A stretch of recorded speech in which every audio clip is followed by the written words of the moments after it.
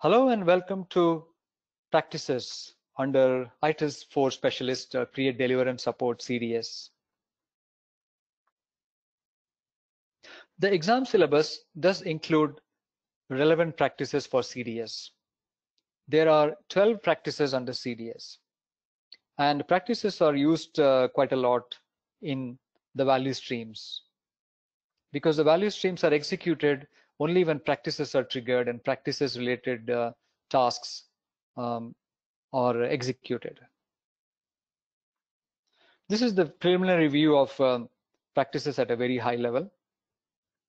In CDS, we have got all these 12 practices, service design, software development and management, deployment management, release management, service validation and testing, change enablement, service desk, incident management, problem management, knowledge management, service level management, and monitoring and event management. The numbers which are shown in parentheses, they are the section numbers in the practices.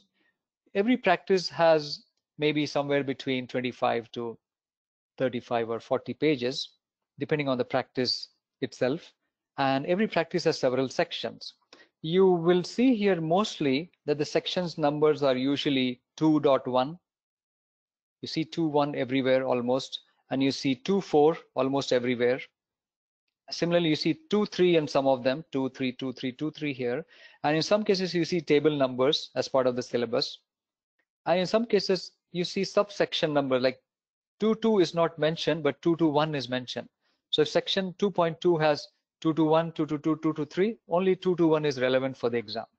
Yeah? so whereas in this case um, you've got only 2 to 2 here in the deployment management practice. So that's why it's important that you understand only those sections relevant for the exam for every practice. If you go, for example, to some other uh, certifications like HVIT or DPI or DSV, you may see there also change enablement, but the section numbers might be different for that exam.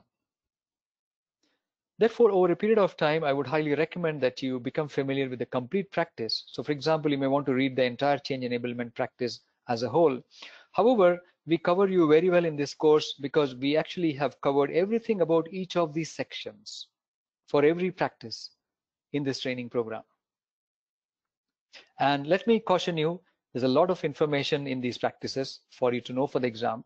So do be prepared with some of the fine print as well uh, in this training program, which you may be requiring um, to remember in the exam.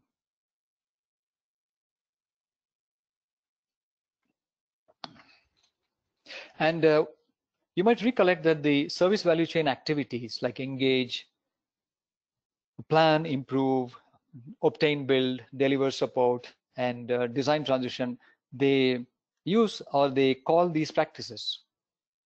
That's why uh, we are trying to understand what these practices really uh, do.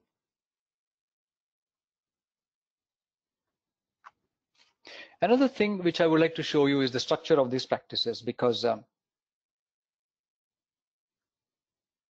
and why we are studying only these practices. So the first thing is why are we studying only these practices? And that's from the syllabus.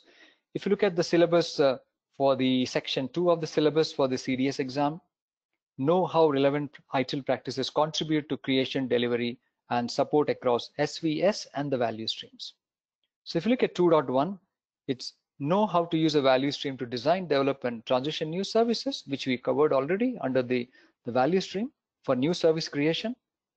Similarly, we covered 2.3, know how to use a value stream to provide user support. You know, the, the uh, incident uh, input which came from a user, we covered the value stream for that. So those of, they covered three marks each at application level, Bloom's learning level three.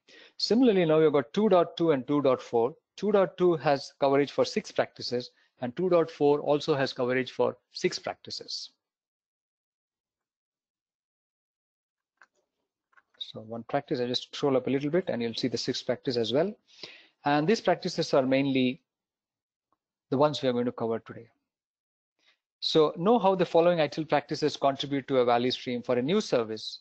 And for this, you also have to read the manual a little bit, the uh, CDS manual, and we already covered this. And similarly for 2.4, know how the following ITIL practices contribute to a value stream for user support. So 422 is from the CDS manual, just like 421 from the CDS manual, whereas the remaining references A to F, similarly A to F, are from the practice documents. So in service desk, we need to look at 2.1, 2.2, and 2.4, including the subsections of 2.4. So when it says 2.4, it might mean 2.4.1, 2.4.2, etc.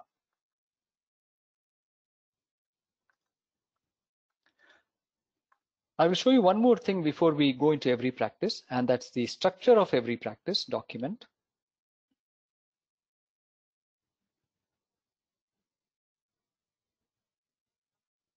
Every practice guide has the following structure. This is not a specific practice guide like release management or a software development and management, but it's a general uh, publication from Axelos, which is known as the practice guide structure, as you see at the top here. It gives you the template or the structure of every practice guide.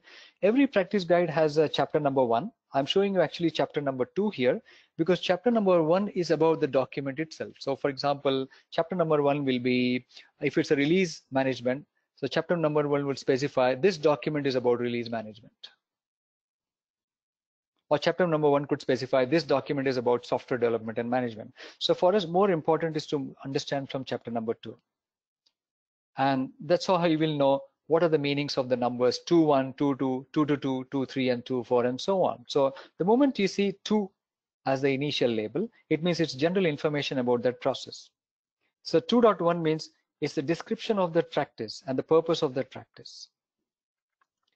So if it's service desk 2.1, it means what is the purpose and description of the service desk practice. Yeah, so that's uh, the first thing. And uh, 2.2 is the terms and concepts under that practice.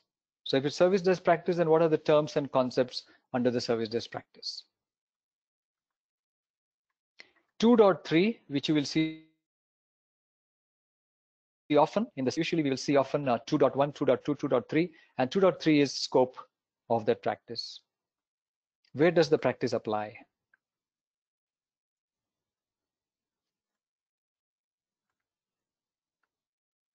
And lastly, we've got 2.4. And 2.4 is uh, practice success factors, as you see here, success factors. Every practice has certain success factors. What is a success factor? A complex functional component of a practice that is required for the practice to fulfill its purpose. Certain things need to be done for the service desk practice or for a software development practice by which the practice will fulfill its purpose. For example, in service in software development we may have to create a development approach. How does software develop in waterfall? How does it develop in agile? Some approaches maybe have to be clarified. Yeah, so that could be one practice success factor. And for every practice success factor there are some metrics to measure that practice success factor. However the syllabus doesn't go into the metrics. So these are the only sections generally you have to know for the various practices in any of those mp certification exams managing professional certification exams. There are other sections in this, uh, in all the practice guides, there are in total 34 practices in ITIL 4, therefore 34 practice guides, including uh, portfolio management, project management, risk management practice, and so on. In the practice guide, you will also find key metrics section. 2.5 is key metrics. But usually for these exams, you don't have to really know this section because some of the metrics questions are picked up from the, the manuals themselves, like the CDS manual or the DPI manuals or whichever you're appearing under the MP exams. And there's also section number three, which is usually not covered in the exam, which is value streams and processes. Um, there's a focus on the value streams and processes uh, itself. And, uh, and this is where the actual process uh, pertaining to every practice. So if there are certain processes under incident management, they will be described in 3.2. Yeah, so usually they are not covered, uh, except in very rare cases uh, in the exam. And sometimes you will see some process diagrams like this in one or two uh, uh, today when we cover one or two uh, practices, we will see that such diagrams will come up. These diagrams use their own notation it's not necessary to eh, understand these notations because they are not being explained in these practices, but they have referred us to uh, to uh, refer to a certain uh, business process um, management notification um, document on the websites, on other websites. So as long as we understand that investigation of problem happens followed by known error communication in uh, this situation, we are well prepared for the exam without having to really understand these circles and uh, those rectangles.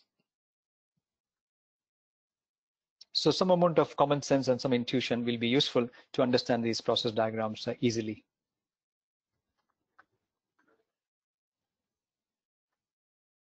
And just moving on. Um, and these practice documents also have organizations and people aspects. And similarly, it has the information and technology aspects as well. Um, and uh, the partners and suppliers dimensions acts. As, yeah, so you've got the partners and suppliers aspects for every practice. And lastly, we will have, um, I might have missed that before. We also have the information and technology um, dimension for every practice. Therefore, uh, if I come back to this uh, slide here, you will see that most of these practices refer to only to section two, which is the the main things under every practice, the purpose, the description, the terms and concepts, the uh, scope, and the practice success factors, not the four dimensions, not the processes, procedures, etc.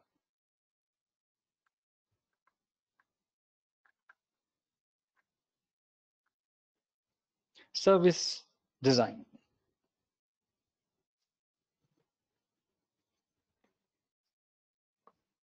Those of you who are from experience with ITIL V3 uh, will find it beneficial in terms of what you have already done in V3.